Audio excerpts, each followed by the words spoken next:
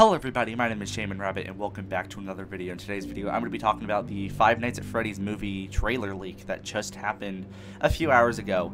Um, I'm just going to say this now, there will not be any kind of footage or screenshots or stuff like that. Um, I did put the logo of the movie in the thumbnail, so I hope that doesn't like spoil anything too crazy. A, because I haven't actually seen the trailer myself and I plan to keep it that way until the full HD one comes out. But additionally, I don't know how Universal slash Blumhouse is going to take this leak. I don't know if they're going to start taking these down from other channels, like copyright striking them or whatever. I don't know, so I don't want to risk that happening to my channel. I already got a warning, and I don't. I just don't want to risk that happening to my channel.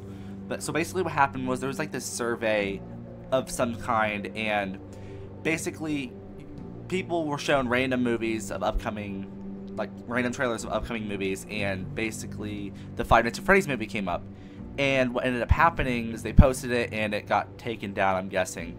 And you had to sign this like waiver or whatever, which they're probably gonna get some serious trouble because they recorded it and posted it online. And I I have not I, I purposely went out of my way not to look at everything in the trailer. I just kind of asked a friend of mine to give me the logo because they, they went and looked through the trailer. Uh, they just gave me the logo so I could just put it in the video, which I love the logo. I think the logo looks great.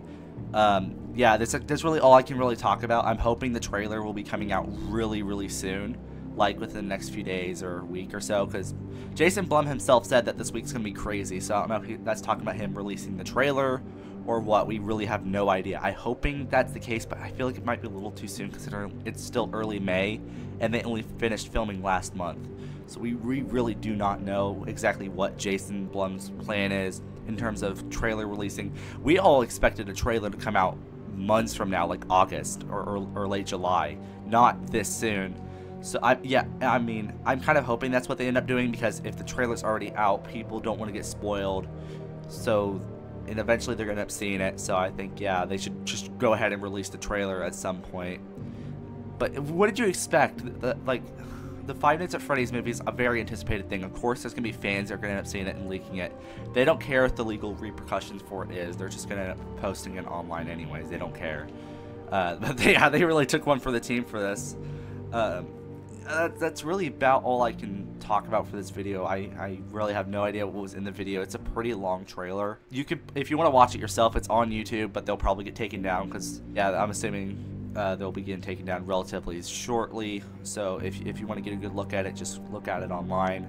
Um, but yeah, so that's going to be it for this video. Thank you guys so much for watching. If you want to be, uh, if you want to stay up to date with upcoming Five Nights at Freddy's movie news or stuff about Security Breach Ruin, because there's probably going to be some upcoming news with that.